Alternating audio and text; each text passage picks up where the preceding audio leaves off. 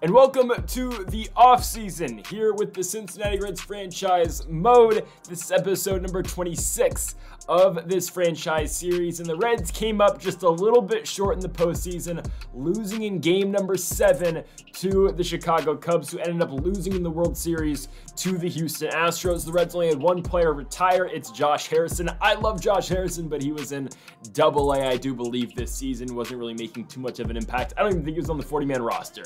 So let's get into the offseason. We're going to go player by player here. And folks, if you haven't yet, though, make sure to hit that subscribe button down below for some Reds franchise mode every single day. TJ Friedl was great in the leadoff spot. Same with Matt McLain, who was excellent batting second. Jeimer Candelario really turned it up in the postseason, and we're going to keep him around for another year. JD Martinez, it was always a one-year rental. He's going to be on the way out.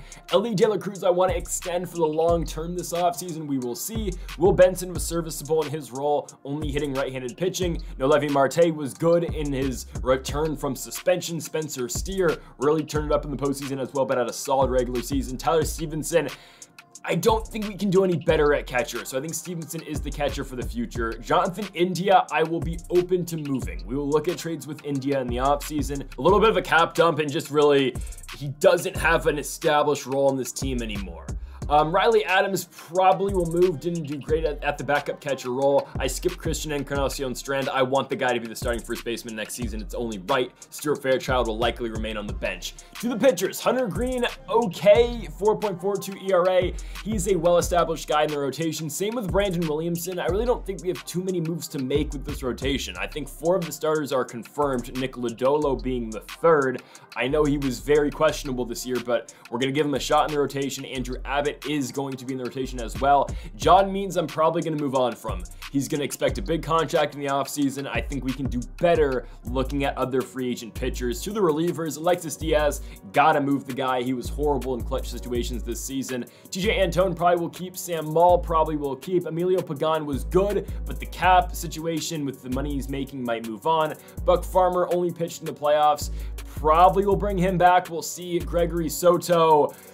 I don't know. We'll see. He throws hard and looks good, but we'll see. James Karinchak probably will keep. Nick Martinez, I just don't see a role with him in the starting rotation. We'll probably move on. We've got our number one pick, Martin Valenzuela, over in the minors. Maybe he will see a call. Max Scherzer he's I know he pitched a perfect game, but just his age, I can't bring him back. He's only going to be regressing. Rhett Lowder, I want to see up eventually, the man out of Wake Forest. Um, I just don't know if next season will be that season. We will keep an eye on Lowder this entire year. And looking at some of our other big prospects, um, you got Xavier Isaac, who we got mid-season we might see a call for him. Like, is he better than Encarnacion Strand? I don't know. He might be ready. He's a lefty. Keep an eye out on him as we move forward.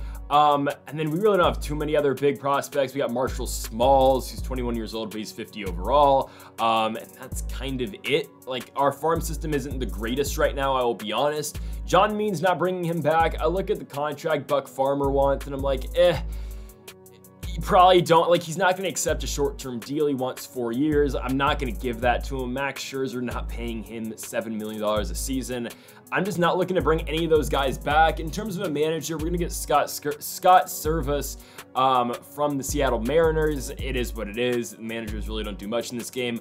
All these guys I'm going to give arbitration to. Obviously, it doesn't mean that we're not going to trade any of these guys down the road. It's just that we need to give them arbitration so we can trade them down the line. Now, okay, this is the Elly De La Cruz situation. I'm never planning on moving away from Elly De La Cruz, so why not offer him that long-term deal and try to save money for the future, right? Give him 15 years and give him a groundbreaking contract, at least for the Reds. Give him $320 million. We give him 310. We'll see if he takes it over 15 years. If not, we can just renew the contract and it won't be all that expensive. Here's the free agency pool. We're not going to go out and get Juan Soto, obviously. That doesn't make sense. I am looking to invest in a pitcher, though. And now there's Blake Snell, who in game did not get signed in the offseason, or I guess throughout the season, because we started this before he signed with the San Francisco Giants. And shout out to the Nationals yesterday in real life, teeing off kind, kind of on Snell, doing well and picking up the win. But, anyways, not going to go out and Blake, get Blake Snell, obviously. It just feels a little bit unrealistic because he is supposed to be on the Giants for the next two seasons in real life. But there are some pitchers who are interesting. Corbin Burnes is there. You got Max Fried. There are guys that we can go out and get. I did look at the trade market for Nick Lodolo. Nothing I really love, I'll be honest. Like, yeah, would I want to get Josiah Gray and Elijah Green? Maybe, or Robert Hassell III, or even Stone Garrett. Yeah, but I can't go too Nats homer in this, right? Dylan Carlson would be interesting, but I'm not trading within the division. Clayton Kershaw, what are we doing? Jorge Soler, eh. None of those trades really interest me, interest me that much with Lodolo, but this is the move I want to make. Getting rid of Emilio Pagan Nick Martinez. Just got to dump some salary here, right? there is a team I am somewhat interested in trading both these guys to, and there's players that I think do make sense. We're gonna go to the lowly Sacramento Athletics. Mason Miller is an absolute monster. If you watched him pitch against the Boston Red Sox earlier this season, my goodness, the hook that man has on his slider is nasty and he throws very hard.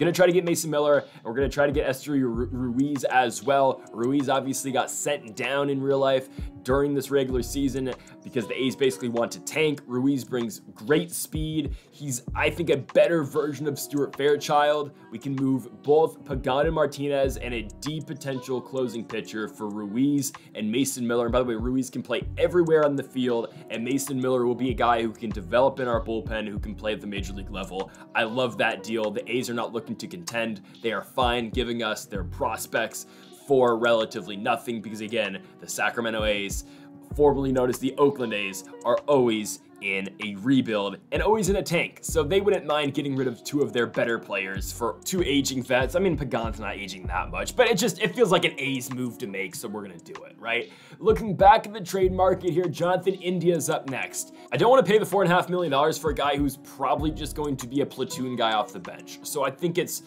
more worthwhile for him if he gets moved and more worthwhile for us as well if we get a prospect in return.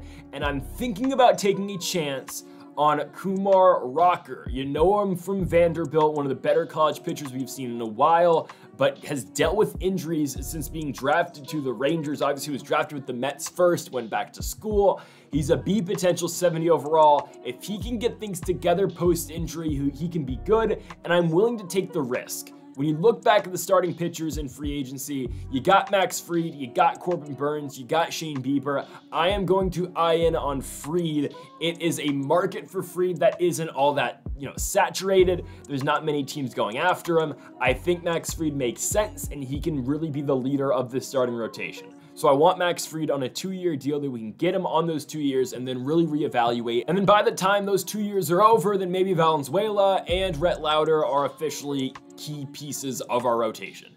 I'm gonna get an older Chris Martin. He's been good for the Red Sox the last couple years. Might as well bring him in to the bullpen. And then Riley Adams will no longer be the backup catcher. Luke Maile isn't here either anymore. I think Travis d'Arnaud fits the bill pretty well. He's been backing up in, in Atlanta for the last couple years. Um, it makes sense. Take him away from the Braves. I think he can be a solid piece off the bench. Blake Snell signs with the New York Mets does not get a big deal at all. So Scott Boras, way to go there.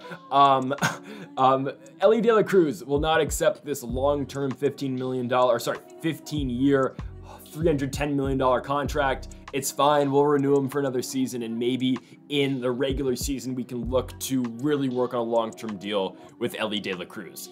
One more time looking at free agency, I'm gonna try to bring in Joc Pederson. He was an all-star this season for the Arizona Diamondbacks, and he can be a platoon guy for us. He can only hit right-handed pitching, a guy who brings great power to our team. I've, I know I've gotten Jock before in one of these franchises, but I think it makes sense. I think it does. He can split time DHing with Christian Encarnacion Strand, because in this game, CES doesn't really develop all that well and it's not a, hit on him as a player in real life. It's just in the game he doesn't develop well, and you kind of need to platoon him here. Corbin Burnes signs with the Royals. We're not really too worried about that, but that's kind of what I'm looking at here. So against rights, obviously Joc would hit instead of Encarnacion Strand, and then against lefties, obviously, then Encarnacion would hit. Also, I think we can move Ruiz into hitting against lefties as well, just because matchup-wise it makes sense rather than have Will Benson hit. I think we're building a pretty solid team. I think we are. Like, I think this team is way better than last season. I know we're losing JD Martinez, but he's getting up there in age. No point in having an older guy there when we can get a youth movement of sorts And I think this lineup looks pretty good. You got Esteury Ruiz in the nine spot, a guy who can steal bases, a guy who can get on base. Um, Travis d'Arnaud obviously will fill in as the backup catcher. Riley Adams is going to get traded eventually, you will see.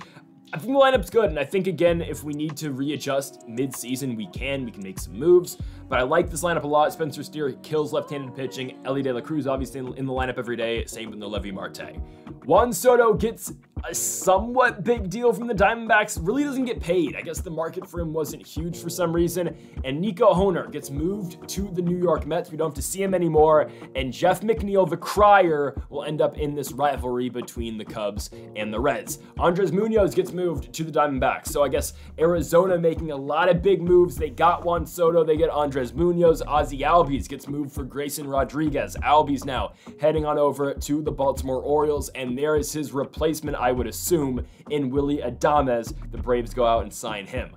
Max Fried, by the way, did sign, so he is now, I guess, our ace. We get him away from Atlanta, get him away from, you know, Spencer Strider and all those guys who would, you know, kind of outshine him at times. And this is now your starting rotation. It goes Fried, Abbott, we're going to have Greene, Williamson, and Lodolo. Yeah, it's four lefties, but still, I think it makes sense. Tanner Scott was the big bullpen, or I guess closing, uh, you know, prize in this offseason. He will go to the Texas Rangers. And here is your trade getting Alexis Diaz out of here. Diaz and Riley Adams to the San Francisco Giants for Camilo Doval. You get a top tier closer in this deal, and it just makes sense. We will have to give a little bit more than just Riley Adams and Diaz. We'll give them I don't know, Jose Torres, a second baseman in the organization, to the Giants for Camilo Doval. You got the slider, the cutter, the sinker. It makes sense. I think Doval will be better than Diaz. And now you get a real shutdown guy. And I think our bullpen and our all around pitching staff looks really good. So this is what we got going in 2025. We are much improved, and I think all around we're a better team. And oh yeah, we'll bring back Joey Votto. He'll probably never say he'll come up in September probably if we need to. I just thought it'd be kind of cool. And Aroldis Chapman, we'll bring him back. He can still throw very hard. Might as well bring him on to the team. So, folks, thank y'all for watching episode number 26 of the Cincinnati Reds franchise mode here on MLB The Show 24 with the off season. Make sure to hit that subscribe button down below for more. Make sure to leave a like if you did enjoy the video. We'll be back tomorrow for opening day 2025. Folks, thank y'all for watching, and Mamba forever.